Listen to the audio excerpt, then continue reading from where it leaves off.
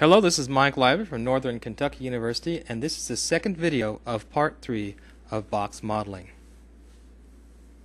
Something we need to discuss here, and that is the idea of normals. You can see inside here the house looks really black, but it's colored on the outside. Now, the color on the outside means that I'm looking at the normal side. Is actually I can actually uh, what it means is when I render that, I will see that the black stuff will be invisible. So I'm just going to render this at F9, uh, or you can hit uh, Shift uh, Q for a quick render. And you can see behind it, it's, it's, you can't see the definition because it's transparent. Uh, in order to be able to see that, you've got to have a normal facing you. Now, there's a way to get around this, and that is to put a material on it and then to render uh, two sides. So I'm going to show you how to do that real quick. Let's put a material on this, render two sides so we can get the inside of the house as well. So now we're going to put a material on this so we can actually see both sides. I just want to say something real quick. We have a whole series on this. Uh, so if this is real fast or you don't think I did something right, just wait. We're going to show you the right way to do everything. But we're going to hit M to get the material uh, list here. So click on this. Let's hit M. And there's my materials. And uh, what I want to do is uh, basically select a material. So the way I do that is uh, select one of these uh, spheres here go to diffuse and next to that is a little box click on that and you can see here's a material map browser and I'll click on bitmap because I'm going to add a bitmap to the house and come up here and hit OK and 3ds Max shifts with a whole bunch of resources and uh, it's a sample file with tons and tons of bitmaps and uh, bump maps uh, materials um, mocap files for example mine's called samples so in that samples file let me go to that real quick There we go. That shift with 3ds Max. I'm to go to uh, Maps and Materials, and let's click on Maps. And I'm going to click a brick material, for example. And uh, there's a nice little uh, material right there, and we can just go ahead and select that. OK. And you can see that's put right onto my sphere. Now, if I don't like that sphere, and I want to look at a box, I can come here and select this and actually change that to make it look like a box. And I'm going to make sure my whole house is selected in this particular case. Control A, and I'm just going to drag that material right onto the house. Boom. So the whole house is brick. Well, there you have it. I click that so I can see it. And let's go ahead and do a quick render so we can actually render the house. So Control Shift Q, and there's my house. Doesn't look very attractive with all that brick. I would actually want to select different polygons and um, kind of shade the house. But we're kind of going fast here so, so you can see how it's done. And there you have it. But once again, you see that black on the inside. So I'm going to get rid of that black. Because if I render that, uh, that will be invisible. So let's go ahead and get rid of that black. And the way we do that is we're going to go up one on the menu. And we're going to click on two-sided. And that's pretty cool. And at this point, if I shift Q, then I can see the inside of the house is indeed rendered and not invisible. So the trick there is to put the material on and hit two-sided and you're good to go. Okay, one more thing before we're done with this house. Let's do something to make it really cool looking. Uh, I'm going to go ahead and NURB it. Alright, so if you come over here to your menu right here, there's a NURB command. And here's our NURB command right here, so you just click that and boom, there's our NURBed house. We'll put another iteration on that. Woohoo, and now it's kind of a funky looking treehouse that you might see somewhere, you know, in a uh, Star Wars uh, episode. There you go. And uh, I don't like uh, looking through this menu right here, so I actually programmed that command key as Control Shift N. You'll have to go into your Customize up here and program that key for you as well. And it's fun to play with NURBs; they're just super fun. We have a series on that as well. So there's my uh, funky looking house. Uh, one thing I want to do here basically is bring this roof down a little bit to make it kind of a, give it a little bow shape.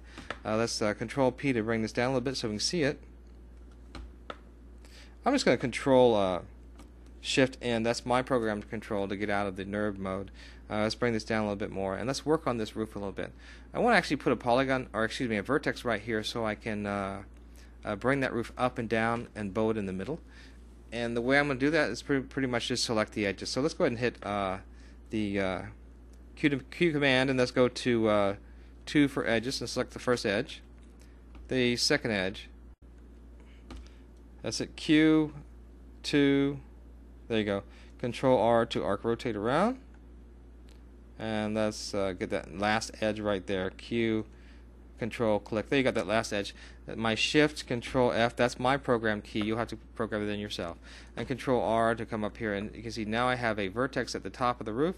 Let's hit 1, select vertex. I'm going to click on that vertex right there. I'm going to control P to pan down a little bit so we can see this. Okay.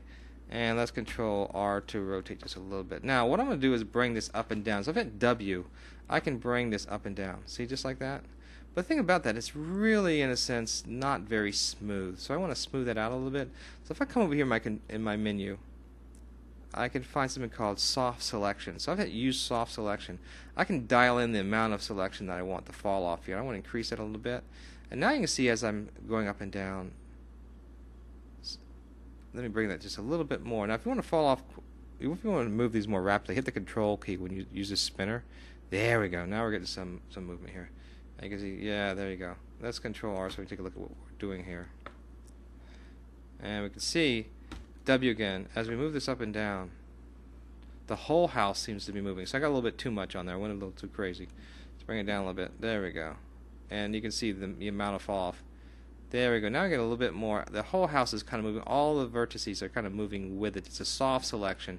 In a sense, when you move one vertex, all the others move with it. And depending on what your fall off is, the, the higher that number is, the more vertices move. So, and the more they're affected. So I'm gonna bring that down a little bit. That's NURBed again. Control uh, Shift N. That's my program command. Control. Let's go ahead and P. Control P to pan up a little bit so you can see that. And now that's looking pretty good. I'm pretty happy with that. Control Shift R just kind of pan around a little bit. Oh boy, pretty funky looking. Okay, well here's our funky looking house. Let's go ahead and hit Shift Q to quick render it.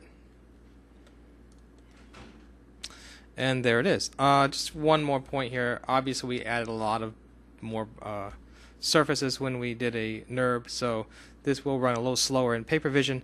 However, let's go ahead and bring this into PaperVision and show you what it looks like. I'm going to go ahead and export this to Collada. So I'll go to Export. And we're going to choose Collada. We'll put my my house. And we're going to go ahead and hit Save and it's going to ask us uh, for some information. We're going to click on triangulate and hit OK.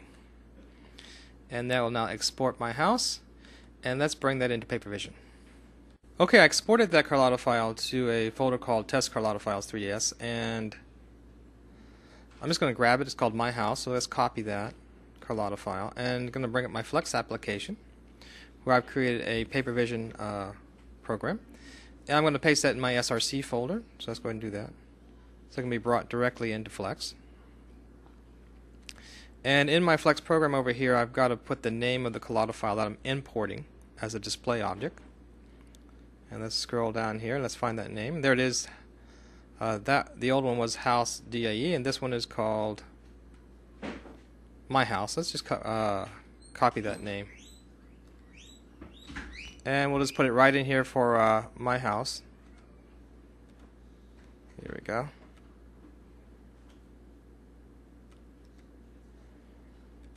And let's run the program.